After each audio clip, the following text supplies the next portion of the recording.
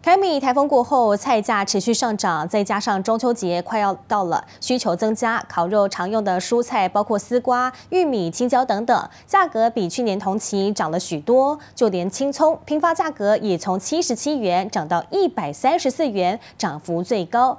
另外呢，民众决定今年中秋，有许多人决定不烤肉了。在彰化西湖果菜市场，则是判断可能要一直到中秋节之后，价格才会逐渐回稳。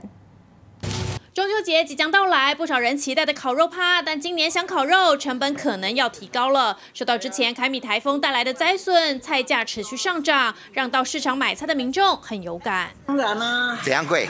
气候的关系啊，这样会不会让你买买不下去？看情形。菜价贵桑桑，民众都快买不下手。烤肉常见的蔬菜，像是丝瓜，从去年批发价每公斤三十元，今年涨到了四十点七元，涨了百分之三十五点四。甜椒涨了百分之十三点五，玉米从二十一点七涨到了三十二点六，涨了五成。另外，青葱更夸张，涨了七成多。只会高不会低的啦，因为中秋节的需求量比较多啦，他们会观望啊，好就不要吃啊，呃，等到便宜再吃啊。另外，像是小白笋、四季豆、香菇价格也是比去年同期贵，而西湖果菜市场表示，菜价可能要等到中秋过后才会逐渐回温。灾后一个月，农民仍在努力复耕，作物复耕估计要到中秋节过后。由于中秋节需求量增加，导致菜价明显的上涨。菜价居高不下，让民众快吃不消。恐怕今年想体验中秋烤肉的欢乐气氛，只能少买一点，或者是选择价格比较亲民的下手。还有民众干脆决定今年中秋不烤肉了，因为菜实在太贵了。接种部综合报道。